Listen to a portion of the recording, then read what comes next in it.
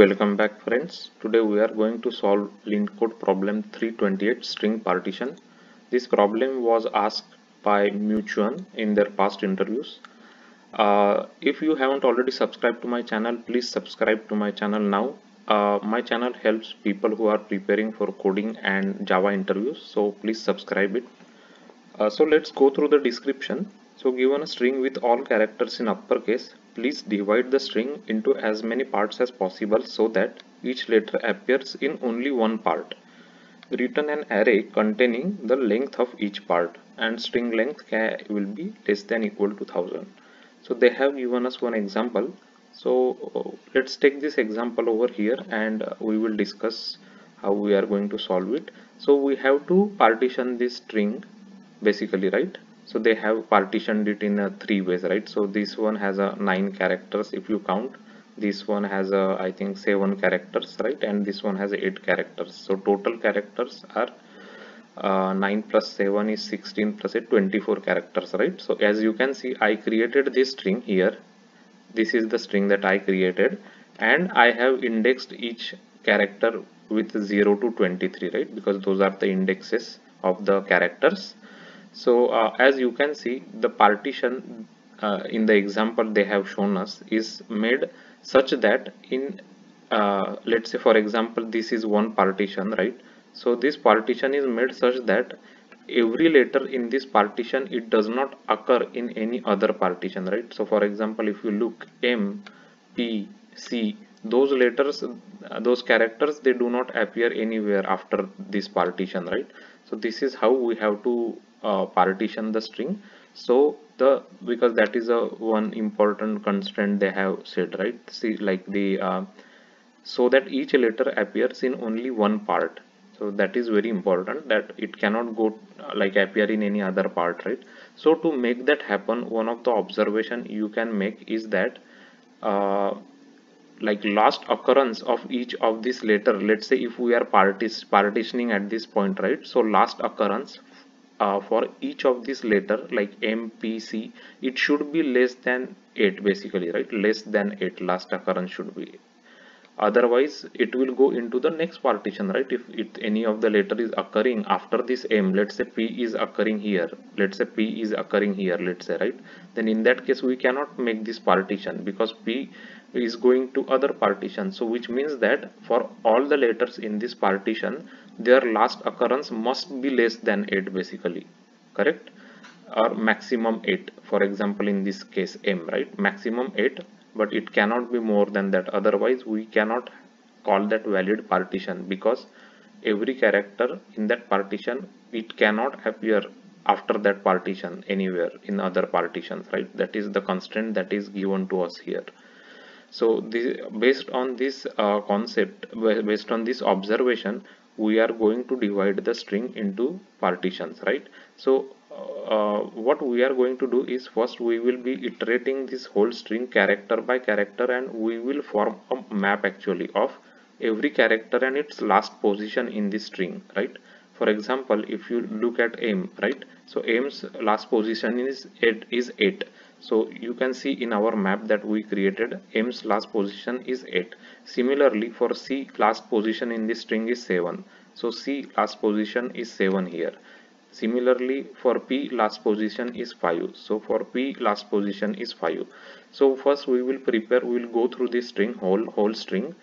Uh, in a for loop we will read each character by character and we will create a map that will tell us uh, where what is the last character position in that uh, for that character into the string right?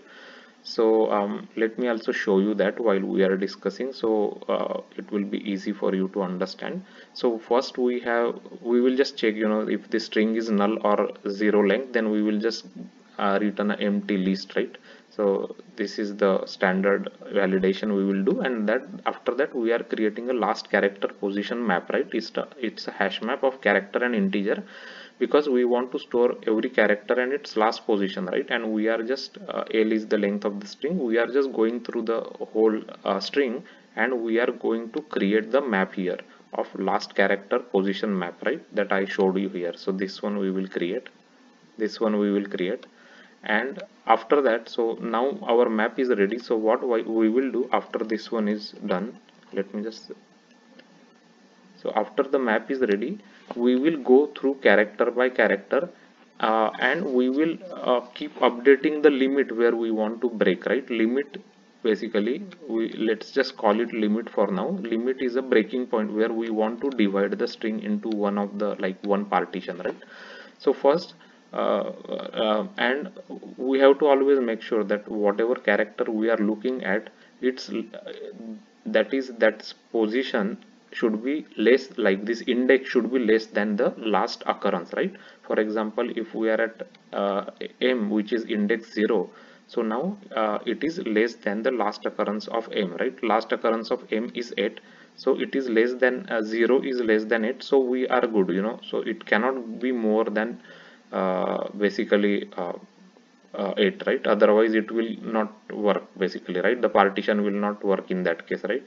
So now again and we will keep our limit uh, we will keep our limit like uh, up updating right? So for example now our limit becomes 8 because we are seeing m character and m character is last position is 8 so we will keep updating limit. Whenever it is more than 8 we will keep updating right? And we will uh, we can take all the letters into our partition as long as their uh, value is less than last position less than limit basically right? That limit. So right now our limit we are at m. So m is 8 last position. So we will say limit is 8 for the partition. Now we are at p. Now p's last position is 5 so 1 is the index right now we are at and 1 is less than uh, 8 right? 8 basically our limit. 1 is less than our current limit so we are fine. We will go forward. So here again m is 2 now. So 2 is again less than 8 so we are fine. So we will go now again p. So 3 is less than 8 for p right? Because p p's uh, last occurrence is 5 right? So 5 is anyway less than 8 so we can take it into our uh, current partition.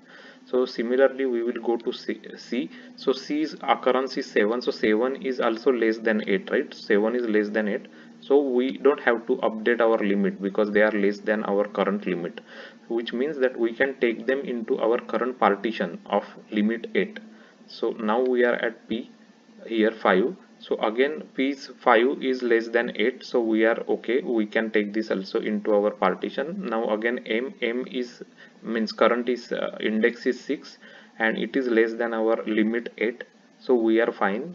It should be less than limit right now we are at 7 now at c 7 also we are at uh, looking at c right?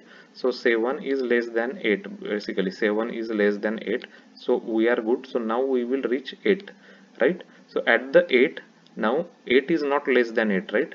Because our limit is 8 right now and we cannot say 8 is not less than 8 so which means that we are at a position where we can break the string basically into one partition correct so we are just going to now break this string here right where we are at 8 because our 8 is not less than 8 so it makes this as a partition as what I am highlighting right? So this is one partition.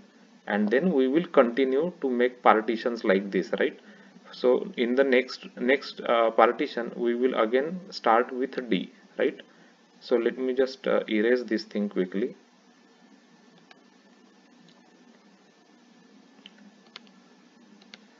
so I can write it here otherwise it will be difficult to write.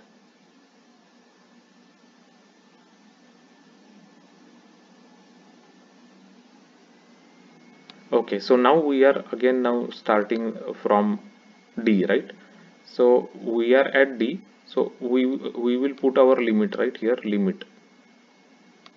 So limit will be uh, d will be 14 right? So our limit become 14 means until 14 we can go basically. So uh, after that we will reach e.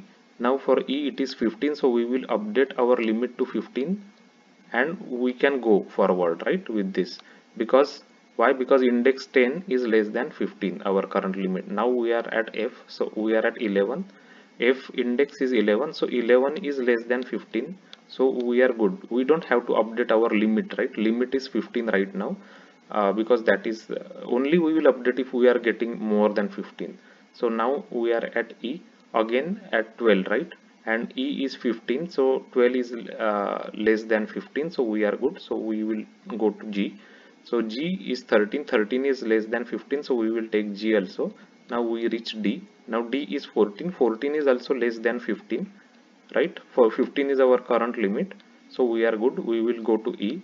So now we are at index 15 and our limit is also 15 so 15 is not less than 15 right? 15 is not less than 15 which means that we we reached a point where we have to break it again into next partition basically. So that is why that is how we will break it like into next partition. So this is our going to be our next partition that i am highlighting so as you can see it is also matching with what partition they have given us here right? D e f e g d e d e f e g d e.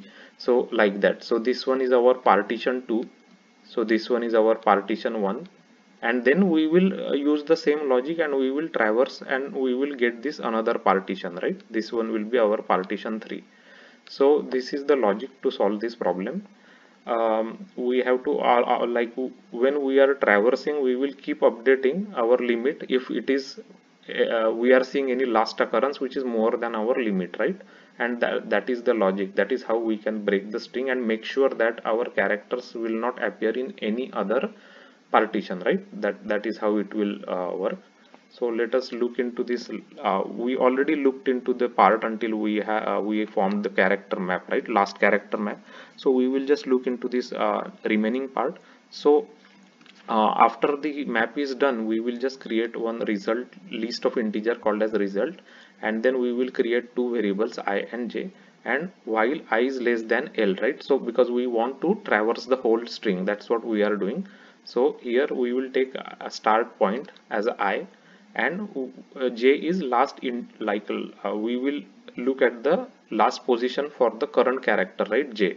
And while i is less than j right we will just move into this while loop basically right? Like we are uh, looking into this partition so we are just going character by character. How long we will go? Until i is less than j right? I is less than j as i said here so until this our uh, i value is less than j. J means basically the limit limit that we were talking about right? This j means limit. So it will go until it hits that limit and it will uh, check you know if it finds out any position into the map which is more than j it will update the j right? Correct? And then it will increment the i here. So it will go until uh, it can go. For example uh, in this case right whenever it uh, like uh, whenever it it will update the um, j only if it is finding that some of the character that it is seeing is like far away right? Means it is farther than the current uh, j basically farther than the limit right? For example our limit is 15 and if we find any character which is let's say 18 then we have to update our limit to 18 right? So that we can get that into partition basically right? So that that's what the idea is basically right uh, so we will keep doing it. So we will find one partition at the end of this while loop and we will just add that into our result right? J minus start plus 1 so for example in this case j is 8 here for the first partition. 8 minus start is 0 plus 1 which is equal to 8 plus 1 which is equal to 9 right? So as you can see 9 is here for the first one. And then again we will go and we will initialize start to the start will be again now 9 right? Start will at will be at 9 and we will go until we find this 15 right? 15 will be the end. So 15 minus 9 plus 1 right? That will be the next one which is 15 minus 9 is 6 plus 1 is 7 so as you can see 7 is here right? So that is how the partitioning will work and it will partition all the string because we are going until the end here. And we will keep adding uh, the partitions as into our result because list is the result of integer that we are going to return at the end right? So that is the way the solution works. So let us just take one example. So same example we will take and uh, I'll just show you how how it works. So as you can see it first we have prepared this map actually of each letter that appears in the string right? And then it calculates the uh, partition and it calculates the length here here of the partition. So our solution is working and it's giving us correct result. So um, so we'll just like submit this solution and uh, make sure it's getting accepted. So as you can see our solution is almost like 78% faster than other submissions which is pretty good so uh, let's talk about the time complexity of this solution. So as you can see we are iterating the whole string here to create the map. So this one is order of n time complexity right? And here at the uh, in the while loop also again we are iterating the whole string. So this is also order of n. Both are outside of each other so there is no nesting or anything. So we can say that for this solution the time complexity is order of n right?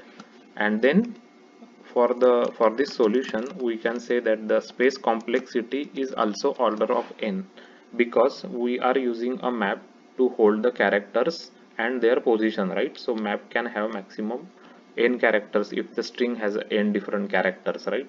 So that's why both time and space complexity is order of n for this solution. Um, so we already submitted and our solution already accepted. Uh, so this is the way you can solve the string partitioning problem. Uh, this problem was asked by Meituan in their past interview. So make sure you understand and practice and uh, you know can write down the code. Uh, so when you are practicing try to write the code without any ID so you know you can write the you should be able to write the Java code by hand you know without any ID or any autocomplete because many times in the uh, whiteboarding interviews that will be really helpful for uh, to you. Uh, also check out my LeetCode playlist. Uh, it has over 100 solved problems in java and explained with examples in details. Uh, so that will be really helpful. You will get a lot of different variety of problems. There like dynamic programming problems then um, uh, like priority queue problems logical problems. So there are a lot of uh, problems uh, you will find a lot of variety you will find so you can practice it. And then also look into the java interview playlist. It has a lot of frequently asked questions uh, on java like by big tech companies in past as well as conceptual questions. So go through it. It will definitely be helpful if you are giving any java interviews. Also if you uh, if you find this video helpful please like and subscribe it your subscription will be really helpful because that is the way it can reach to more people who are preparing for interview java interview coding interview or phone interviews. So please subscribe it so they can also get benefit. And thanks for watching the video